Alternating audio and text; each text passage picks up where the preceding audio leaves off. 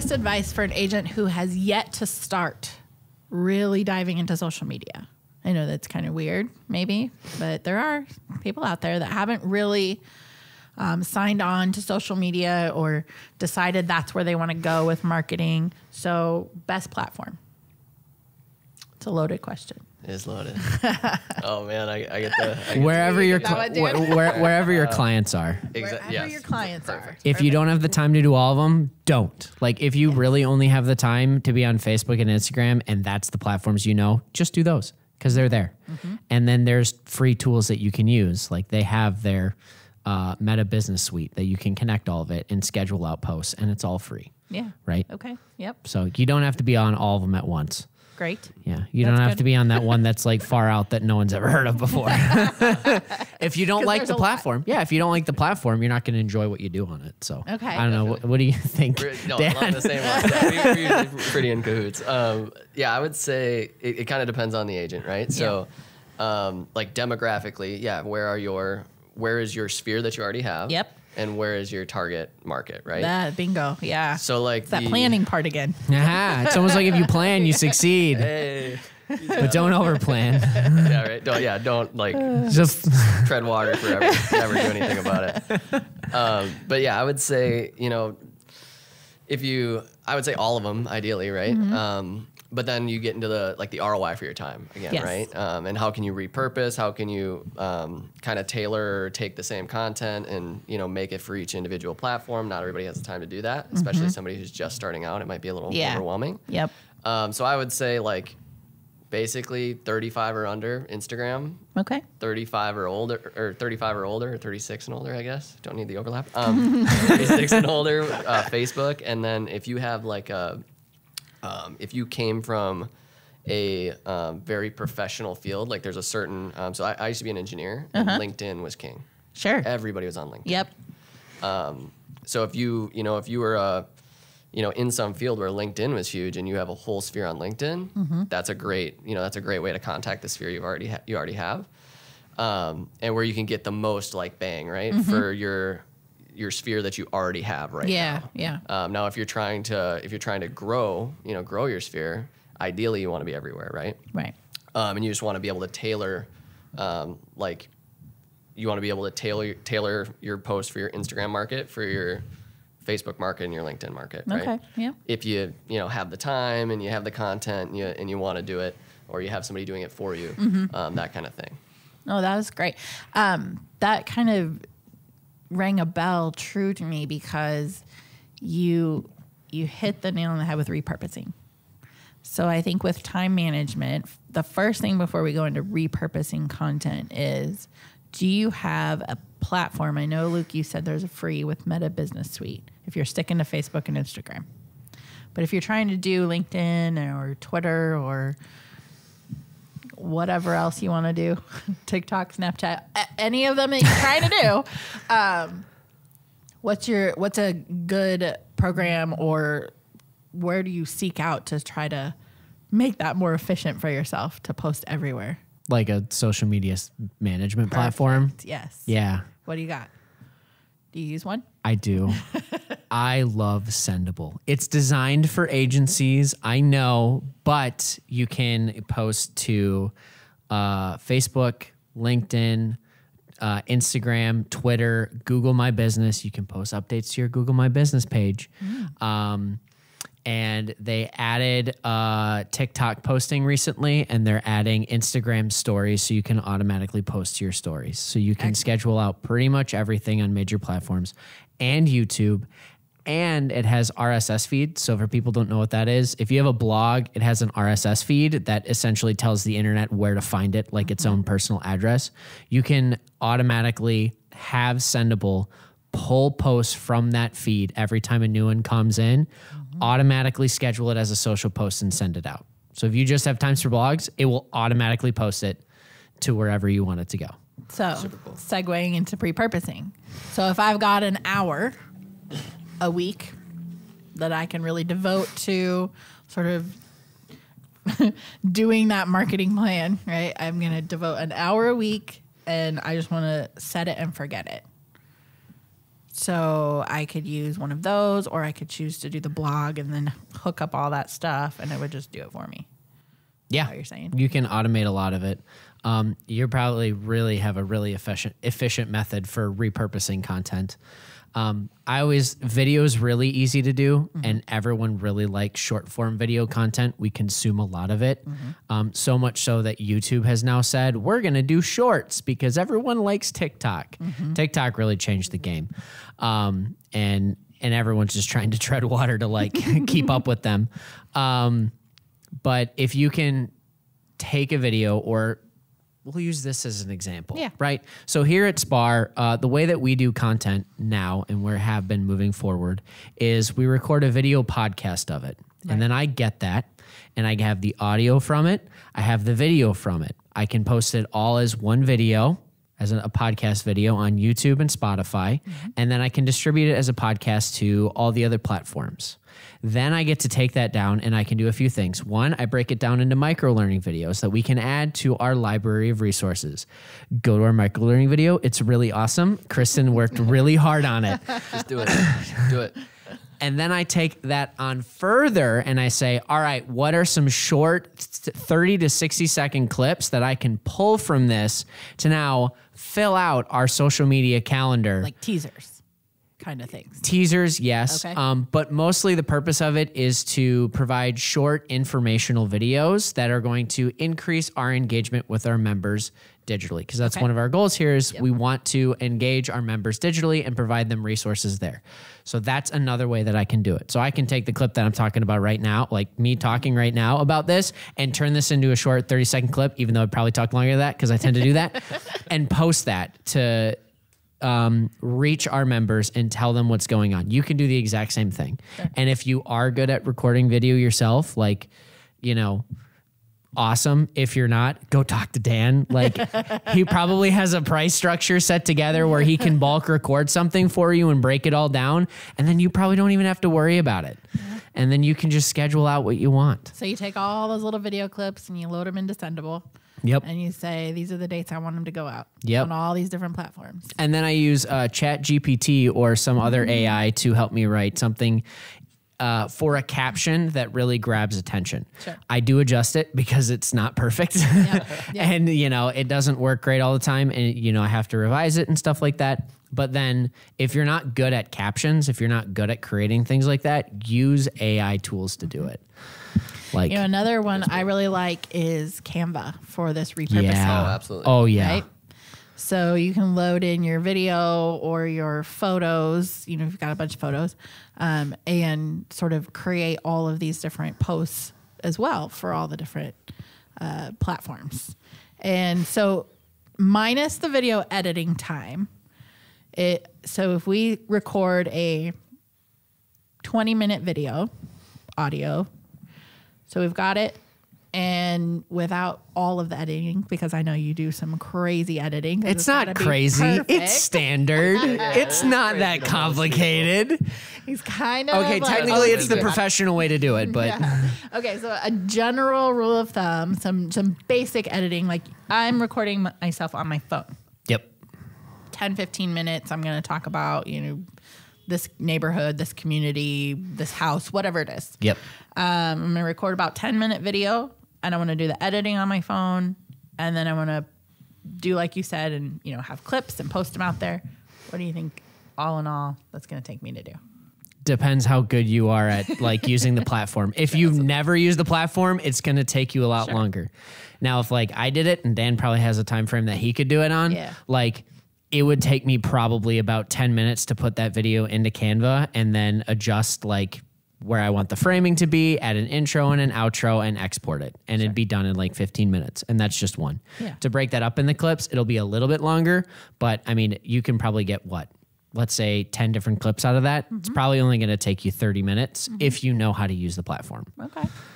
so I could do a 10 minute video and then spend an hour working on my different clips, working on social posts, taking photos out of those clips, writing a blog out of the video, adding the video to the blog. I mean, all of it, right? So now I've got like a month's worth of content with an hour's worth of time.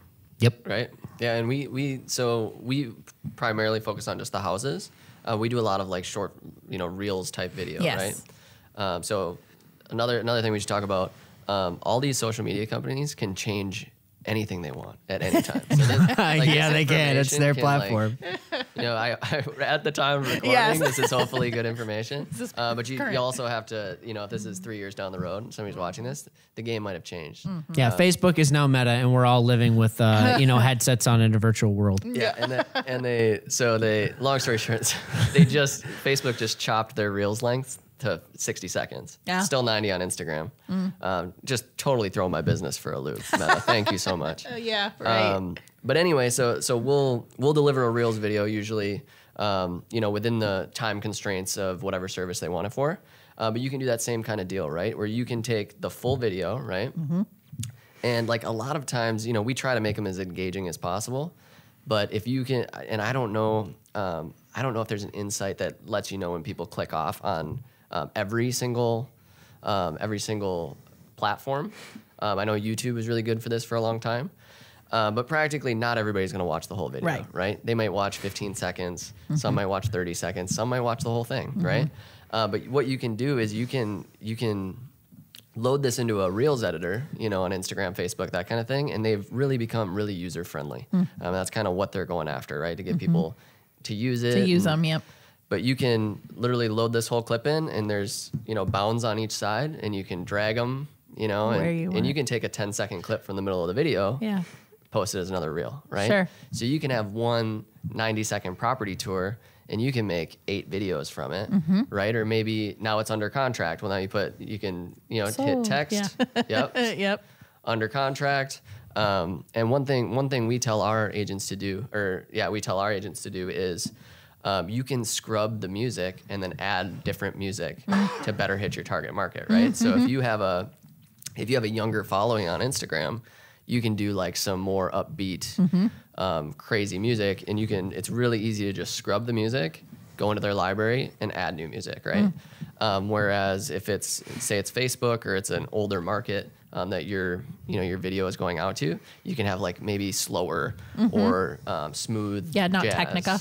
exactly. Yeah. Yeah. not- um, you know something that that group of people might you know respond better to. Yeah. Um, so I think there's a lot of value in the in the user friendly reel editors as well. Yeah, um, that well, that's people can advice. quickly take advantage of. And they have templates within Reels now. So you literally just upload the photos Mm-hmm. you want and it automatically puts them in those spots. Yeah. And correct me if I'm wrong. I think Canva also has similar functionality with the moving the um, endpoints to clip your video, adding the uh, adding some sound, adding you know animated little fun things over it, and then export the whole thing. Yep. Right. Okay. So if you are just using Canva for everything, you can still do it all in there. You don't have to necessarily use a second program. No, you don't have to. Okay. It's just if you want to do it all on your phone and you're just doing like Instagram and Facebook, the reel editor is super good. Yeah. Re- yeah, direct posting. Yeah. Absolutely. Um, so, one thing I'm going to comment with repurposing also is we've got uh, many of our members that, you know, work with. Um, work with communities where English is not their first language. And so my two cents, and I'm just going to talk a little bit about AI right now, and because Luke brought up Chat GPT, that he uses, you know, some AI to help write maybe some of those engaging headlines to even get you to look at the post. Um, SPAAR's working on uh, an AI and Chat GPT class, but Oh, cool. one of the things that I would encourage is uh, being familiar or at least learning some of this technology because you could potentially, when you're creating some digital marketing things, let's say it's in Canva and you've got some verbiage in there, you can copy. So you've got your English flyer, let's say, or your social post. You can copy that text, have it translated using AI into Spanish, into Hmong, into whatever language you're looking for. Um, paste that back in there. You know, use AI to sort of translate it into another language, translate it back to English to make sure that it still makes sense, especially if that's not your language that you necessarily speak fluently. And then you have now multilingual lingual content to post out there to those communities that you're trying to serve. Oh, that's really cool. Yeah. Yeah, I never, right? never thought of that. Yeah. AI is just making our lives So more efficient. it's a little, like, yeah, like a little plug for a few. just living in a different world. Like it's amazing. It's so much fun. And well, and that's the thing is it's been around. Like, Right. I know we were having this conversation of like Jasper.ai has been around. I've been getting ads for them for like five years. And I totally thought it was like a virus because it reminded me of a virus that I used to see that would like try and get you to like click on something on MacBooks years ago. But like, n- I mean, I've learned a lot of stuff from you on Chat GPT because I finally was able to get it and play with it. And the amount of prompts that you've given me that are like so amazing, that are making it more effective and efficient, and then gets me going creatively of, whoa, what if I try this? Or what if I try this? Or how would I try X, Y, and Z? It's like, it's so empowering to be like, like, and you even said to me once, it's like having two of yourself. Yep. It Right? really just It's- makes you more efficient. Yeah. It's having It two of you. Yes. If you learn, you know, how to use it in that in that in that context, um, which is why we're creating a class about it. So does Canva? Because I haven't done any of a- Canva's AI. Does Canva allow you to translate yet, or is that only something that you have to pull into like Chat GPT? Um, I don't know that I've seen a translator. Have I seen a translator in Canva? I don't know that I have. I would have to. They go should really add that. I know they've add they added about twelve or fourteen different AI tools in a matter of like a week and a half after after ChatGPT like got real famous. um, you know, so they've got things like um, they have Magic Write or you know Canva's version of ChatGPT, so it'll you know output text if you give it a prompt like, "Hey, how do I do this?" or "Give me a suggestion for an engaging social." You know, heading uh, heading for this blog post or you know whatever you're looking for. It's got that. It's got you can write text and then tell it you want a picture of a Tudor style home with a chimney and bushes in the front, you whatever, however you're going to describe this perfect house for this marketing flyer you're doing, and it will output four examples for you. Um, just generated, te- uh, generated uh, artwork that doesn't belong to anybody because it's not a real place. That's so cool. right. So I love it so much. Um, yeah. So I mean, like, you know, just side note, a lot of this stuff exists, but um, and it's got it's got some of the same AI tools that you know we've been using for years with different like photography touch ups and Yeah. um, you know stuff like that. But Their background remover tool is. stellar. I don't put anything into Photoshop anymore. I go to Canva to do it Yeah. because it does it faster. It's pretty good. Yeah. Take note, Adobe. Oh wait, you're probably gonna just buy Canva like you do everybody. So uh, yeah, so just in the world of repurposing, I mean, you know, think about the time you spend and then how much you can do in that if you really only have an hour to devote a week, how much you really can accomplish if you learn the tools to make your time more efficient, right? So and then you know the schedulers, the you know automated um, you know apps, the you know assistance programs of editing and just all of those things. And you can really, for all those that think, well, I, I haven't done social media or I don't want to do social media because it takes too much time, because we all know you need to be consistent. Um, but if it takes too much time, you know, we've come light years, even in the last 10 years, of what you can do with your time to sort of get that consistency on social, right? So, okay, so in the world of consistency, what's your recommendation for you know having an active social presence with marketing Yeah, you know, um, I think I think as much you know within, within reason, right? I'm gonna, I'm gonna uh, as much as you can, right? Post Um, 10 times a day, 18, 18 every single times. hour. well i guess that would be true for twitter yeah. Yeah, I mean, uh, but no, I, I would say like three to five times a week. Okay. You know, really, I, I think being consistent um, is more important than anything. So if you can post consistently once a week, um, that's better than posting, you know, seven days in a row and then taking two months off. Sure Um, which is something you know it's hard to do. You know, I I haven't been perfect with it. Yeah. You know, um, it's hard to do, and I think really the, um, you know, setting up a system that'll allow you to be successful, right? Whether Yeah. that's scheduling stuff out if that works for you. Yeah. It's kind of everybody's different, right? Yep. Maybe you do it on your lunch break and you do a post every every day when you're eating lunch. Yeah. Or whatever it might be. Um, just whatever will allow you to be consistent Mm-hmm. um, and post, you know, the right things at the right time um, is the is the biggest deal, I think. Okay. You agree with that, or you got something else to add? No, I agree. Do it as much or as little as you can. Like whatever is going to work for you and be consistent. I always like to say that there's three key things that you have to like answer, 3 key questions. Who's your target audience? What type of content do they want to see, right? What are you producing for them? And how are you going to be consistent? So if that's one I agree with them. If one post a mm-hmm. week, just do one post a week. Mm-hmm.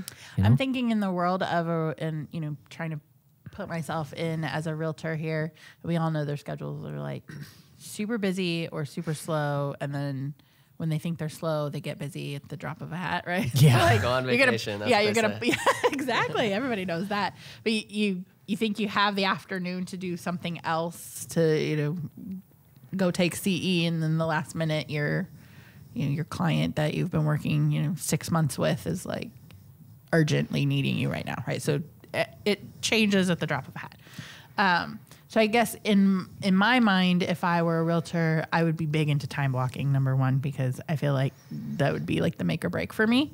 Um, so I think for those that may practice that, um, you know, using your calendar, time blocking, and just block out a time that you're gonna sit down and do your marketing plan for the week, and then should something come up, that doesn't mean you can't post the rest of the week. You know, you've got those set up. Um, you know, you took your hour or your two hours and you did your whole plan and you scheduled out all your posts. But then, yeah, then something comes up and you're at, uh, you know, you're at a function or you're, you know, doing something else. Yeah, absolutely on your lunch break or there, snap a quick picture, right? So there's nothing wrong with adding more to it, but at least you've got the consistency time blocked to sort of set it up. So, And with these AI tools that exist now, it goes a lot faster. yes. Like, and before to create some of the social posts that were like pictures with nice graphics and stuff, mm-hmm. you'd have to go into Illustrator. Canva does most of the work for you now, and it's so much easier to move and adjust elements than it used to be. So, That's another class we're bringing to SPAAR. yeah, Canva I'm pretty excited about that one. Yeah, that one's going to be. Canva. Yeah. I, that you don't. showed me the outline. I was like, "This is really cool." We've got, we've got new new classes coming this fall. Love it. Um, okay, so I'm just gonna. I just have one last question on my little list here. Um, analytics. What do you know? What do you like? How do you use them? Yeah, um, I would say number one, you have to have a professional account to use any type of analytics, right? Um, so I don't, I don't forget what they call it. Um, it's a business account, a professional account, um, something like that. I think they even have creator accounts now. Um, it's all, all kind of the same deal, right? um, at least the way I understand it. Um, but that's that like unlocks insights for you. So I, I've talked about it before, and then people are like, "Well, I don't, I don't have that button. Where is it?" Uh, so that's the first step, right? Okay. Um, professional account. Um, and then you know, past that, I think the biggest, you know, the biggest thing you can take away is it's just it's just data that you can use to make decisions, right? So, and practically any decision related to social media, right? Um, so, you know, who's interacting with your content, their age range, where they are, um, you know, what what time they're most active, right? So you can use that information to plan out when you're if you're scheduling posts Yeah. when to do them. Um, if you're not scheduling them, when you got to get up and do it, or um, you know, make time to block um, that target market, age range, demographics. So like, um, I can see I went in there today and like I have I think a lot of people who interacted with my last post was like 25 to 34 or something, right? Okay. So now next time I know, oh, okay, I can I can tailor, you know, maybe incorporate elements that will be um, good for That that, music. group of people. Yeah, exactly. Yeah, okay. house music. Let's Put it on there. Um, you know, and, and maybe it might be different, right? So it's um, and that's like the biggest the biggest thing with marketing, like you know, how, kind of how we started was understanding that goal, right? Yep. And who you're talking to, and you know, tailoring it to them. Yes. Um, so the the insights really like that's that's what you can do, right? You can figure out who who's in your sphere, who's looking at this stuff, Okay. um, and how can I optimize what I'm doing for them, kind of deal. How often do you look at at uh, analytics for SPAAR? Um, some some sometimes it's weekly.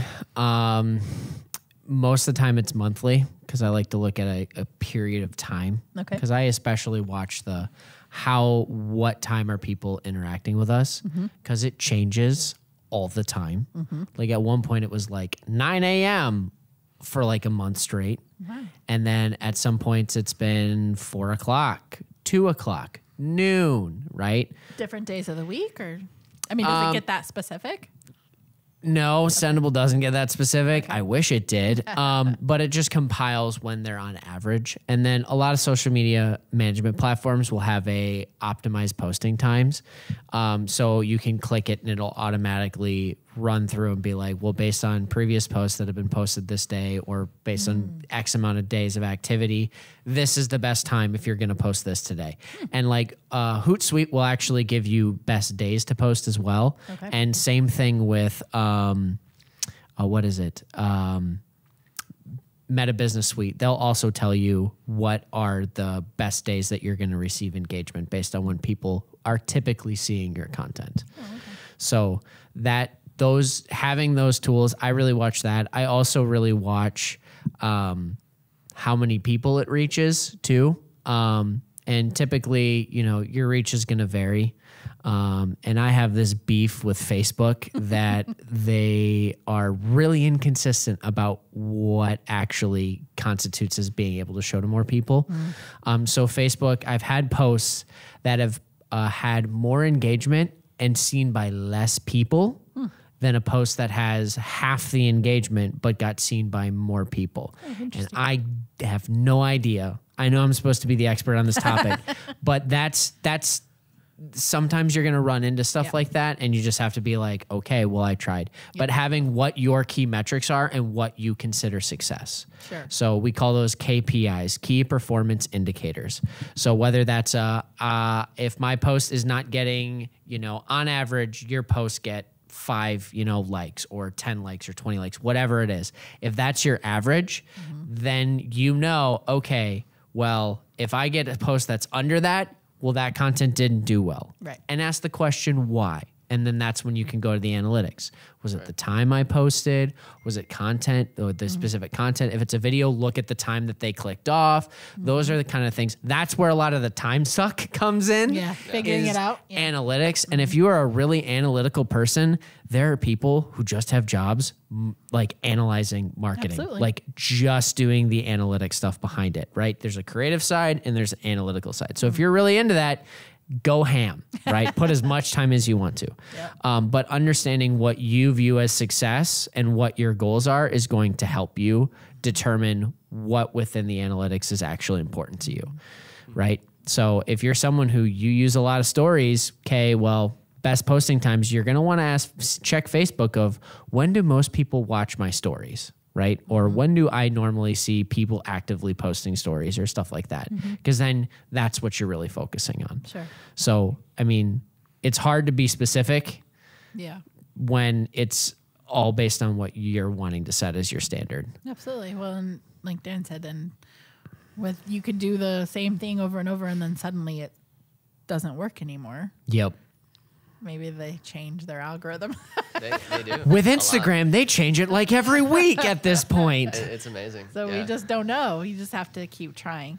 Um, And with that, just keep doing what you're doing doing. then. Like Yep. if you are not able to pin down why the algorithm keeps changing, don't change yourself. Like just continue to produce what you want to produce because then it's going to be fun and even if not a ton of people are seeing it, maybe at one point it will blow up, right? Like that one post I did on my personal Instagram. I just posted like some photos that I had that I had done in Chicago over a year ago and was like, "Hey, I'll post these as a reel." And didn't really do well the first like few weeks and then a month later it blew up. So something changed in the algorithm, Yep. right? More people saw it.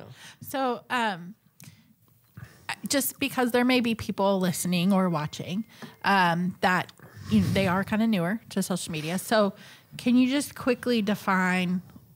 Because we've talked a lot about you know impressions or engagement or Oh, yeah, I always you know, forget to do that. so, just what are those different things on the different platforms, and what do they really mean? Uh, so what? Impressions and reach are kind of synonymous, right? For the most part. Yeah. So reach is how many actual individuals you reached. Impressions is how many times it was actually seen. Okay. So you can have one thing seen by the same person multiple times. Happens a lot when you actually do ads, mm-hmm. right? So that's why that number is typically bigger because you're like, well, it says I reached this amount of people, but then why is that higher? Mm-hmm. It's two different things. Mm. One is reaches, this is how many actual people saw it, right? So let's say that's 500. So like unique visitors. Yes, unique thing. Okay. visitors, and every platform calls them differently. Yep. So I'm just going with Facebook right Yeah, now. go for it. Um, and then impressions is how many times, like how many times that's been seen Okay. by all of those people. Okay. So, So if that I- could be 600. So I'm I'm counted as one reach, yep. one unique person, visitor, looker, whatever. Um, but every time I scroll back to it my phone, it's more impressions. Yep. Because if you go back to that, and that really happens a lot with video, is like mm. going back to stuff, Yes. especially on TikTok. Or if you are running ads and that ad keeps being shown to someone because maybe they clicked on the ad, mm-hmm. like maybe they did something other that it was like, well, you look like you're probably going to, mm-hmm. right? So that's why it showed it to that person again. Okay. Um, what are some of the other ones? Well, engagement, right? Likes, comments, Yep. Um, saves. I think that would go into it for a lot. Reshares. So some kind of um, activity with that post. Right, you've Yeah. Just actually doing something taken with it. an action. yeah. Okay. right? Yep. Um, and like like like Luke said, these can be like different, right? They can Yeah, change all the different what they what they measure as as what. And like one thing that I always like to say about the social media services is you have to almost look at them like a business, right? Hmm. And like kind of, we we're kind of going back to the other thing, but um, like they're a business that wants you to stay on that Yep. uh, using their service, Yeah. right? Yep. Um, so understanding that, like the, the algorithm explicitly changes all the time, right? They're they're trying to say, oh well, if people are liking your content, you're making good content, so we're going to show your content to more people, so it keeps people on the Mm-hmm. Yep, that makes sense. service, and then they, we can sell stuff to them, right? Yep. Um, but like, it's hard to. They're they're just trying to tweak that algorithm to keep you there longer, Mm-hmm. Yep. right? So that's why, like, like Luke said with the consistency, like Mm-hmm. like we we can't. We're never going to fully understand Right. the exact source code and how, you know, a like exactly correlates to a comment Sure. or what a save does in relation to a like or maybe a view. Um, but it's just they're trying to plan it out to keep people there Right. and try to decide what people find value in Yeah. that will keep them. No, that makes sense. And if your content isn't being seen by people, it probably means it's not good. Like if you don't have anyone watching it and mm-hmm. you like you've been doing it consistently for a month, 2 months, 3 months, 4 months mm-hmm. and it's not doing anything, if you're still liking it, keep going, but then you got to ask why is no one watching this? Probably cuz there's other content that's better than that mm-hmm. that cuz everyone is producing content now. In the early days of the internet, it was easy to get found because not everyone was doing it. Now everyone and their mother is doing it, right? Right. So there's so much out there, so it has to decide what it wants to show people. And like Dan said, it's only going to show the best of the best of what is going to keep you on the platform. Mm-hmm. And that goes into there's actually different kinds of algorithms hmm. and how it decides it shows content to you, uh, which that gets really complicated. But there is a interest based, and then there's also a um, relationship based method. And um, Instagram is losing right now because it's an interest. It's not an interest based one, and they are well, you follow these people, so therefore you're going to like this post that this person who you follow liked. But that's not always the case. But it's not always the case. So that's why for a long time you'd get the same like same type of like reel trend mm-hmm. seven to ten times in a row, which is why I stopped using reels for a while and mm-hmm. watching them because I would be like, I don't need to see, oh, this is a da da da. I don't need to see it 20 times in a row. Yeah. And so you would leave. And that's why they've consistently changed it every single, it feels like week, mm-hmm. is because they're trying to play catch up and move away from that mm-hmm. to more interest based. That's my theory. I don't know for sure mm-hmm. because, I mean, they're not going to tell us, but that's what my theory is because they have guidelines on their website that say this is how you get the most impossible like reach right? Here's the best practice to follow. And one of those is sharing and um you know making things that like you know they kind of go, de- delved into how they rank things. Yeah. And then with uh, TikTok, they're only showing you what you want to see. It's only interest based. Right. So that's why your number of followers doesn't matter at all. Right. Where it matters on Instagram doesn't matter on TikTok. So that's a little sidetrack on basically saying that the algorithms are different. Go watch a ton of videos on it. There's a lot of different theories if you want to know more. But if you don't want to get complicated, just do something. Just do what you like. Yeah. Okay, so very, very last thing before we end this, um, I just want to make a, a point on kind of covering some maybe ideas. What couple things do you think ideas should people post about? And here's why I'm asking. If we've got new agents, they don't have listings, or even maybe not new agents don't have listings because let's face it, inventory issues. Um, what do you post about if you don't have a listing? Because that's like everybody's go-to as a realtor. Realtor, uh, what other things? Because you shouldn't just post this home for sale or this home is open house because. No offense, I have a lot of realtor friends, and that is really annoying to see. I kind of skip past them all, um, or put them on a, a like a pause. I don't want to see your stuff for a while because I'm tired of seeing that. Um, so, other than listings, what do you got? This is like the, the exact opposite of what you just said. Um, I don't think the listing stuff is that bad. Really? Um, and he, I'll tell you why. Okay? Okay. So, me and you, all three of us actually, Yes. we're in real estate, right? We, Yes. we know a million realtors. yes. right? so that's all I get too. It's Yeah. all it's all realtors, all listings, all that stuff.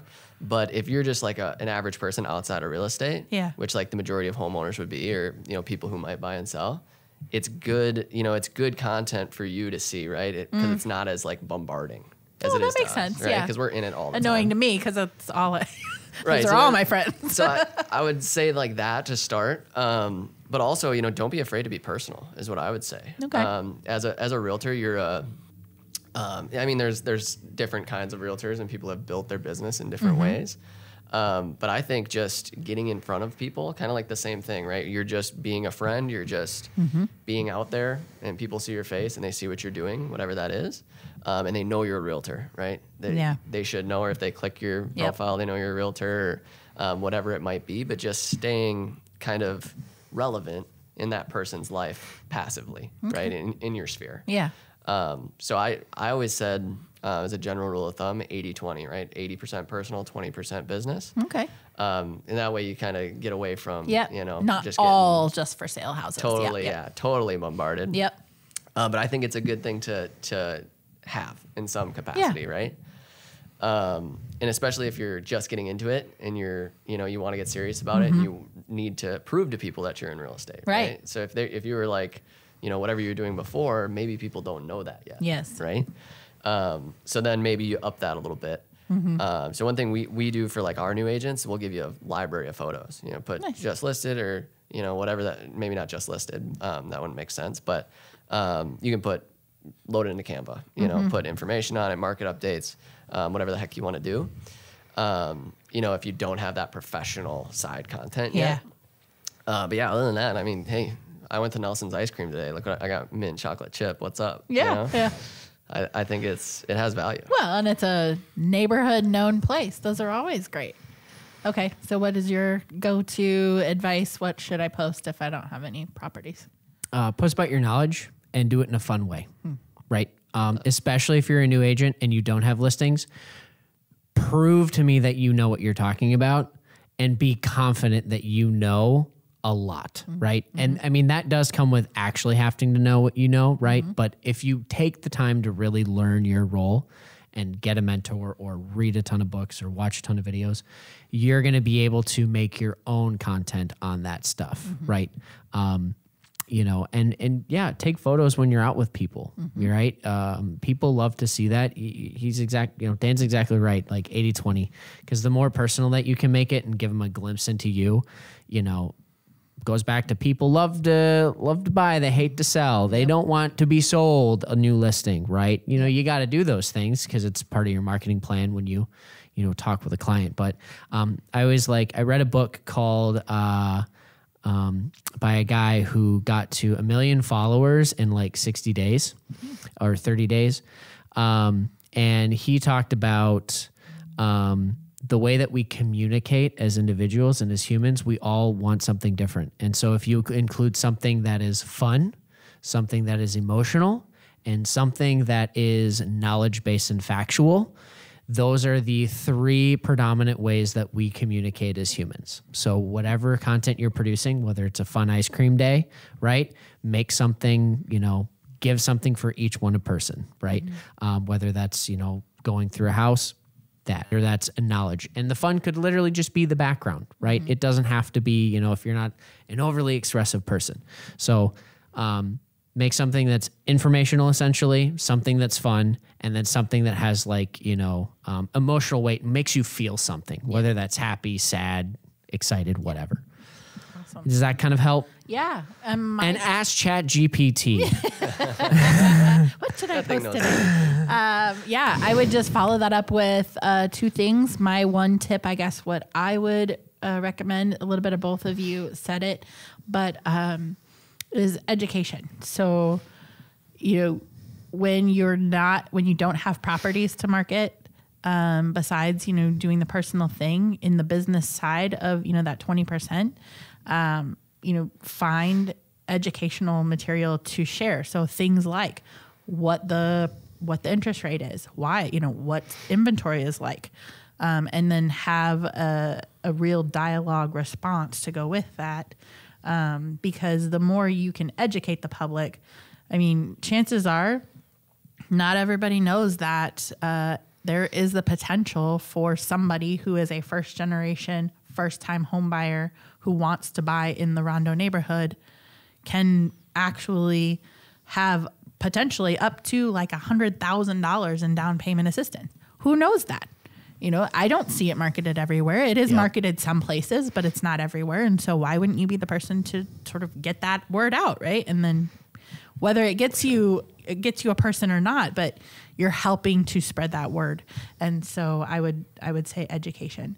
And then the last thing I will end today's podcast with is um, no matter what platform you do choose or however you decide to market online, um, definitely, definitely make sure that you have reviewed the advertising guidelines, both with your code of ethics and with your license law. Um, we have a fantastic uh, link to uh, Minnesota Realtors put together a great guide for that. We have a link to it on our website. Uh, we will put it in the video to this um, micro learning video. Um, so review it, make sure that you are following those guidelines, make sure that you are um, indicating your brokerage. That's a big one uh, that many people may miss. And so, um, create those professional accounts because you get the analytics, but also that's where you can put all of those. Um, you know, brokerage name and and your realtor, and sort of check all those boxes that you need to do, and then you can always share from your business to your personal to to sort of jumpstart your following um, without breaking those rules. So that that's my second tip today. So thank you both uh, for talking social media marketing. This was a lot of fun. I'm sure we'll get more questions later. Yeah, thank you for having yeah. me.